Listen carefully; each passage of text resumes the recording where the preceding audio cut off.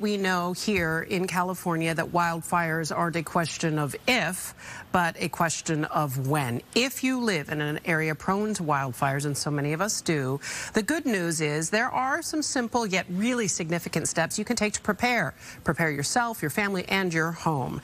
Daniel Gorham is a firefighter and a wild, wildfire research engineer. He joins us this morning with some actionable steps that each of us can take. Good morning to you. You're a busy guy, a firefighter and a wildfire researcher. Uh, glad to have you with us, Daniel.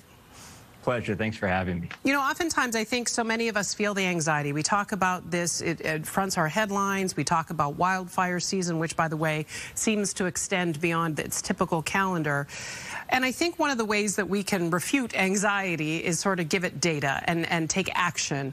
And you've got some ideas about things that we can do um, in terms of like, you, there are ideas that you have for weekend projects that even not a handy person could manage? Yeah, I think so. And I'm a recent homeowner myself, and so I'm getting in the field of DIY home projects. And and while I have a background in the technical stuff, um, I'm not a construction person. But I think I myself can do a lot of these. And even if you can't, I think a lot of homeowners can identify them and find the help to do it. Okay, so let's run through them. You've got four different ones and an app, so that makes five. The first one is create a um, zero to five foot home ignition zone. What does that mean? Yeah, so this is really important. This is a keystone of what we know from the science and the research and what we see in the field, in that it's the embers, those small hot burning particles that yeah. can travel ahead of the fire front that ignite things around the home or ignite the home directly. And so over my shoulder right here is a picture from the lab um, where we are in South Carolina. And essentially those embers land in the combustible mulch, which you might have in the mulch bed around your home, oh, about yeah. five feet and those flames can ignite the home. So what we want to do is we want to create that first five feet being the home ignition zone. Um, we want to make it ember resistant and ideally have non-combustible. So like you said, it's not if the ember lands there, but when they do, they don't have anything to ignite. If you live in those fire-prone areas, this is a key thing. You don't want to give it uh, ammunition right up to and fuel right up to your, your house line. Okay, the roof. The roof is a big deal because, again, those embers, if the wind picks them up, they can travel and land on your roof.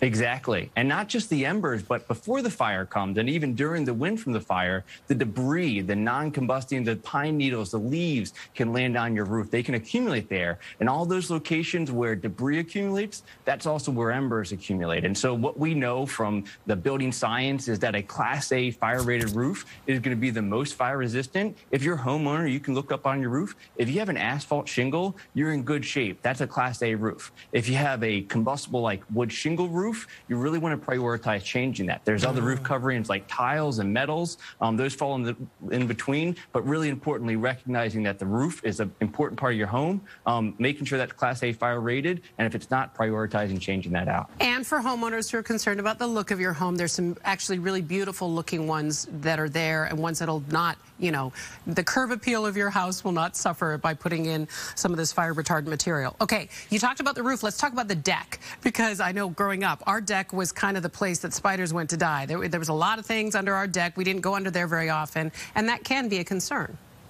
Yeah, and the underdeck area where just, again, debris can accumulate can also be used as a storage area. I know some of these higher elevated roofs under the deck can be a place where you store your kayak or maybe some oh, lumber sure. for other home construction projects. Sure. We want to keep that area clear of both debris and other types of fuels.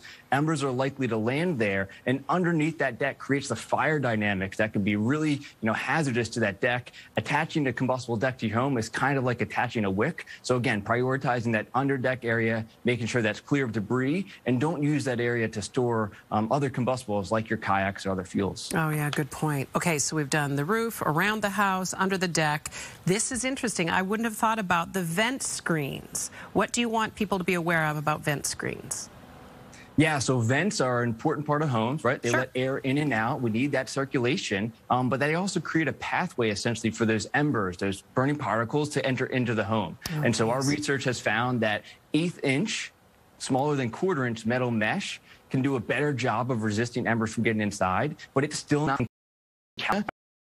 available that are both ember and flame resistant vents. Hmm. Um, the DIY project to replace the metal mesh if it's quarter inch with eight inch is a good option. Um, but if you're considering larger retro, retrofit uh, projects, consider actually investing in a both ember and flame resistant vent.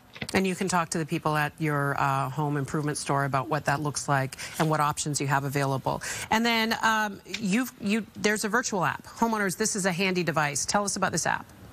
Yeah, so the app is uh, on all your smartphones, smart devices. Um, it's wildfire ready virtual app. It'll actually walk you through the suburban roadmap, which we spent a lot of time and, and years of research on. It has augmented reality and essentially acts as a checklist for all the things that we talked about today. A homeowner and homeowners in the community can use the app to walk through, to evaluate the vulnerabilities, and have guidance on action items that they can take to be more resistant to wildfire. Daniel, let me ask you, what came first for you? Were you first a firefighter or, or first a wildfire research engineer?